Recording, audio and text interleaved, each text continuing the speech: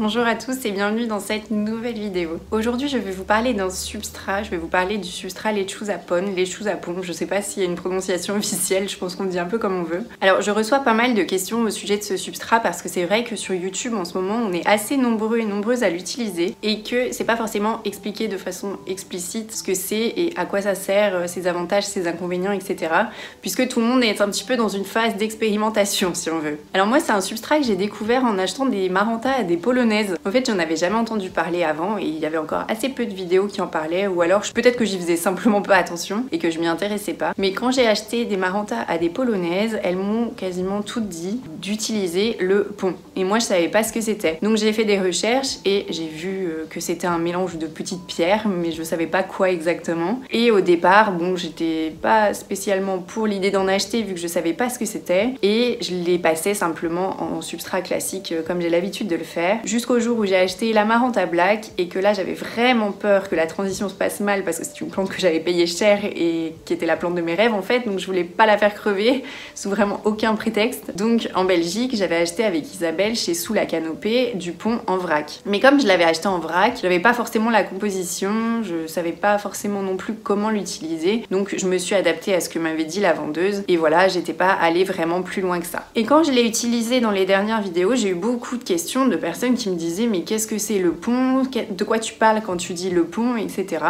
Donc je me suis dit que ce serait bien de vous faire une vidéo sur le sujet étant donné que sur le YouTube plante français, c'est pas un sujet qui est beaucoup abordé, en tout cas pas dans les détails. En anglais, on retrouve des vidéos qui expliquent ce que c'est que le pont, j'avoue que je les ai pas regardées. Mais voilà, donc euh, j'ai décidé de vous expliquer si ça vous intéresse, si jamais vous l'utilisez mais que vous en savez pas plus que ça dessus comme c'était mon cas avant, ou si jamais vous comptez l'utiliser et que vous vous demandez à quoi ça sert, pour quelle plante, comment l'utiliser, etc. ou de quoi c'est composé, eh bien vous êtes au bon endroit.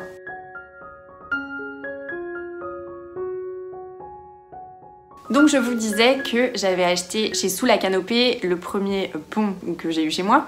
Et comme j'en avais acheté assez peu, mais vraiment pas cher euh, à ce moment-là, et d'ailleurs c'est pas cher du tout, j'en ai racheté un sachet. j'ai acheté un sachet de 12 litres. Je me rendais pas compte de la taille que ça ferait. Je pense que là clairement j'en ai pour toute ma vie. Donc voilà le sachet que j'ai acheté et en plus c'est très lourd.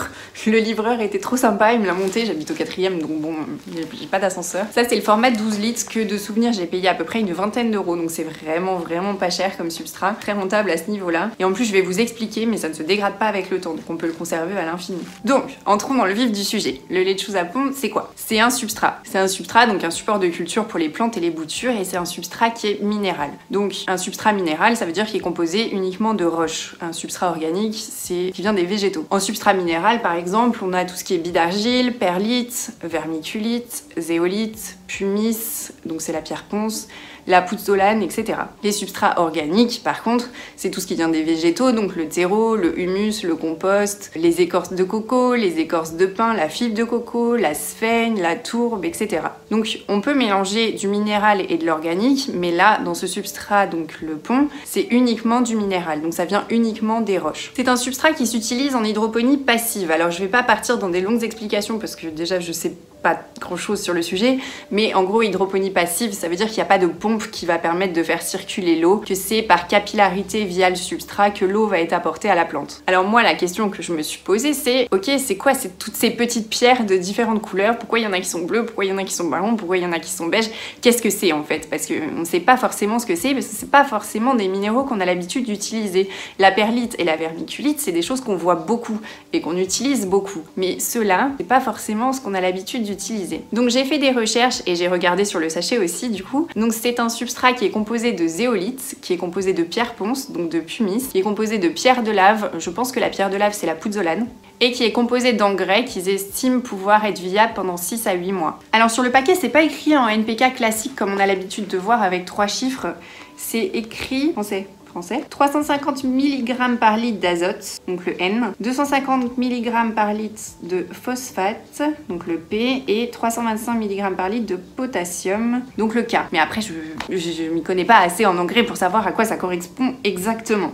Mais en tout cas, ils ont mis de l'engrais dedans. C'est comme quand on achète un terreau de rempotage. Il y a déjà de l'engrais pour une petite période de temps, petite, quand même assez importante, comme dans un terreau classique. Donc si vous avez jamais entendu parler de zéolite, de pumice et de pierre de lave, je vais essayer de vous expliquer ce que c'est, leurs avantages et leurs inconvénients. Alors on a d'abord la zéolite, qui est la petite pierre blanche. Je vais vous dire les couleurs, comme ça si jamais vous en avez sous la main, vous pouvez essayer d'identifier les différents composants. Donc, la zéolite, c'est une roche volcanique. En fait, elle est poreuse et elle permet de décontaminer l'eau. Elle va absorber les contaminants et aussi les bactéries. On l'utilise pas mal en médecine, par exemple, pour créer des médicaments. Et on l'utilise même en cosmétique. En fait, ça va absorber les toxines. C'est un minéral qui a l'avantage d'absorber en fait les minéraux qui vont nourrir la plante et va les redistribuer. En fait, ça va prendre l'excédent d'engrais, ça va le garder et ça va le redistribuer pour que la plante n'en ait jamais trop. Vous savez, quand on met trop d'engrais dans un terreau normal et que les racines crament, ben voilà, normalement ça devrait pas arriver avec ça. Du coup, la zéolite va se transformer en réservoir d'eau parce que c'est très poreux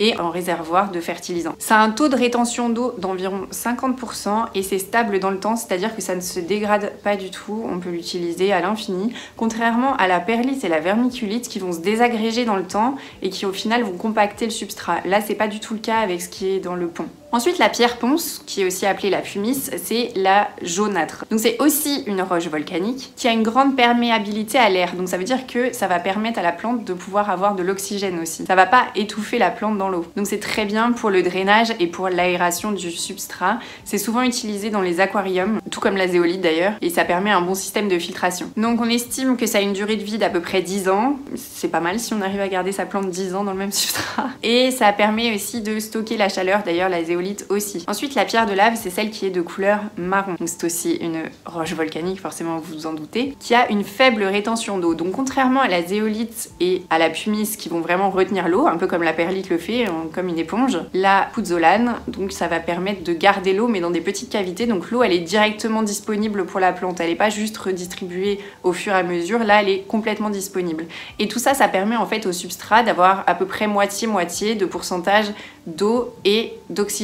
D'où l'intérêt en fait du substrat. D'ailleurs, je crois que le système perlite-vermiculite, c'est un peu la même chose. On a, je sais plus lequel. Enfin bref, il y en a un des deux qui retient l'eau parce qu'il est très poreux et l'autre qui va permettre d'aérer en fait. Du coup, il faut s'imaginer que la pierre de lave va donner de l'eau qui est vraiment disponible tout le temps, là où la zéolite et la pumice, les racines vont absorber l'eau dedans par capillarité. Et la pouzzolane permet aussi de stocker la chaleur. Donc comme je le disais, il y a aussi de l'engrais dans le pont. Je vous ai dit les milligrammes par litre, mais je sais pas exactement à quoi ça correspond. D'ailleurs, si quelqu'un s'y connaît, vous pouvez le dire en commentaire, ça m'intéresse beaucoup. Et cet engrais-là, quand on regarde euh, le schéma qu'ils ont fait sur le site de Lechuza, c'est un composant qui est jaune. Mais j'avoue que quand je regarde le substrat, euh, je remarque pas où est l'engrais. Je pense que ça doit vraiment être une poudre et que c'est à peine perceptible. Donc, en conclusion, le Lechuza Pone, ça a des avantages et quasiment que des avantages. Le principal avantage, c'est que ça va apporter, comme je le disais, de l'eau et de l'oxygène pour la plante dans les bonnes proportions pour un développement optimal des racines et des radicelles. C'est un substrat qui va pas s'agglomérer et se compacter contrairement à un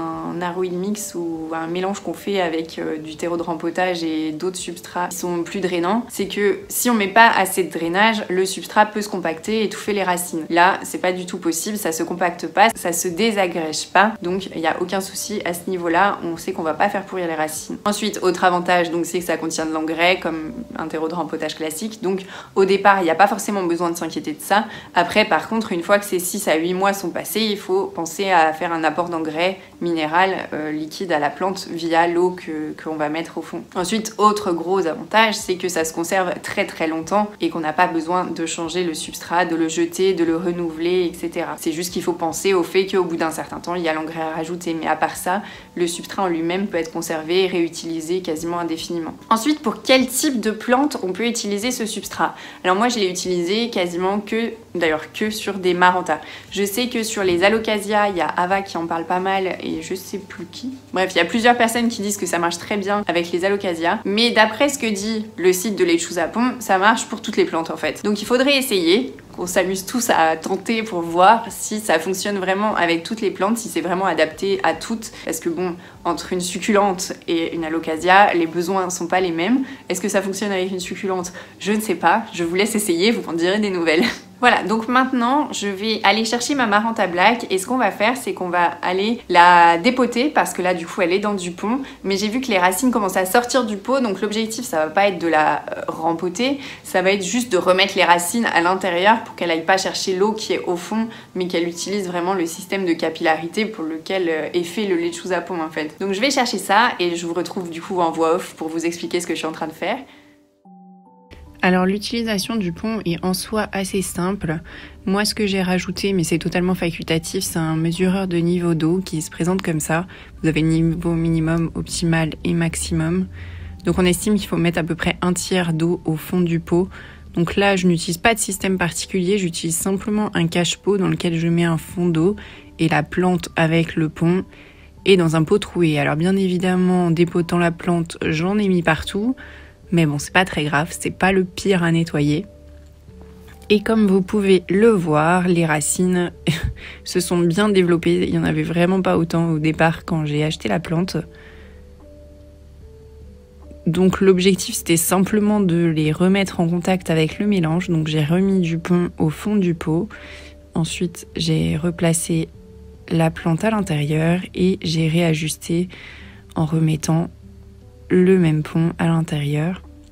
J'utilise une cuillère parce que ça colle au doigt, en fait c'est un peu euh, agglomérant comme mélange et du coup avec les mains c'est assez désagréable.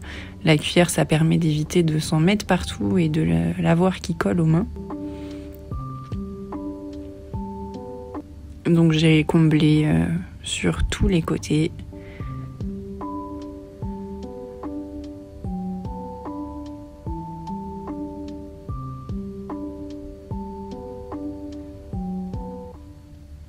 Vous pouvez voir que cette maranta est en fleurs. Alors c'est la dernière qui est en fleurs chez moi. Les autres ne le sont plus. Les fleurs ont fané. Donc euh, comme quoi, euh, visiblement, ça lui plaît bien d'être à l'intérieur de ce substrat.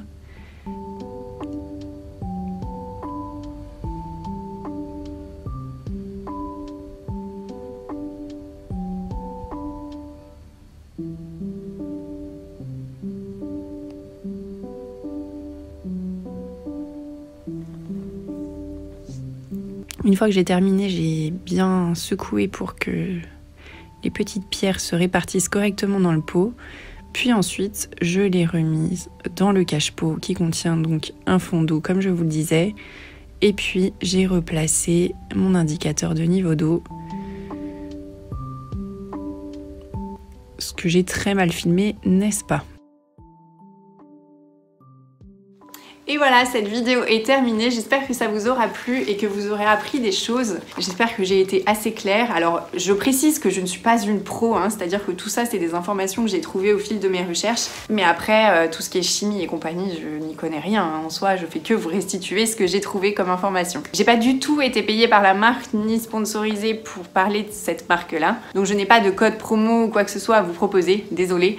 Mais je vous mets quand même les liens dans la barre d'informations si jamais vous voulez en acheter sur leur site. Après, je sais qu'on en trouve sur Amazon et plein d'autres vendeurs, donc euh, voilà, c'est à vous de voir où vous voulez l'acheter. N'hésitez pas à me faire des retours si jamais vous utilisez ce substrat sur d'autres plantes que bah, du coup des Maranta et des Alocasia, parce que ça m'intéresse de savoir si c'est vrai que ça marche avec toutes les plantes. Et en attendant, je vous dis à bientôt pour une prochaine vidéo. Bye